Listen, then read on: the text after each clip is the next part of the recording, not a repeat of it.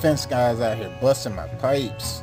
I got about one, two, three, four, five. This is the sixth one I'm working on, guys. So let's get to it. The first thing I did was actually go and cut the supply line on both sides so I can join them together. Next, I cleaned and primed the uh, other side supply line before I put on the coupling. For this one specifically, I actually put some 45 degree angle elbows on there.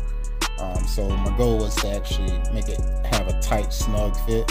So what I was going to do is put my straight pipe on the right side coupling and pull the uh, elbow back and actually snug the uh, connecting joint pipe in. When connecting these parts, I like to push and twist. That way it has a nice tight fit all the way up to the notch. Follow for more tips.